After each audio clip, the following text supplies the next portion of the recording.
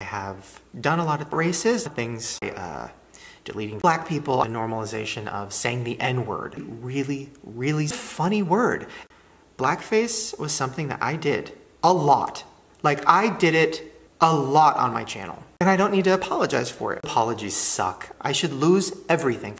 I can tell you this I have hate for any race or any people with weight issues or, or any of that. I made jokes about everyone. LOL! I love saying the N word. I can't even imagine what it would be like to be black. That's insane. I hate Francesca Lee. I hate that person so fucking much. There is no excuse for it. Black people, I can say, if I had a Bible, I would put my hand on it.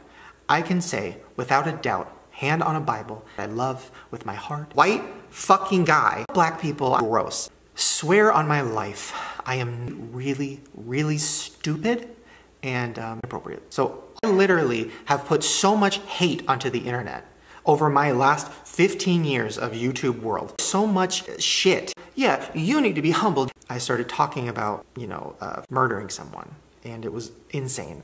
That was not funny. I've done some bad things on the internet. I feel like I am attracted to a child and maybe it's covered in a lot of stuff I hate. Child and I am somebody who would talk about a child in any way that was inappropriate. And I put that onto the internet. I hate black people. I'm racist.